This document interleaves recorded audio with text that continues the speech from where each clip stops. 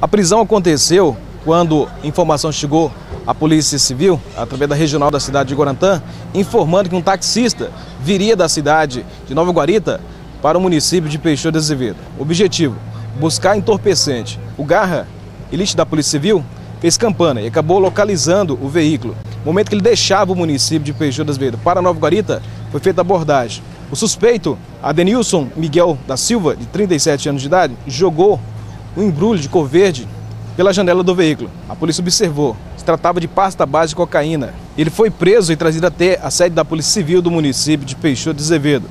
Ele deve responder pelo crime de tráfico de drogas. A prisão aconteceu por volta das 22 horas na BR-163, no município de Peixoto de Azevedo. Logo após a abordagem, foi dado voz de prisão e o suspeito foi conduzido até a delegacia do município de Peixoto de Azevedo. Ele deve responder pelo crime de tráfico de drogas, pena de 5 a 15 anos, artigo 33.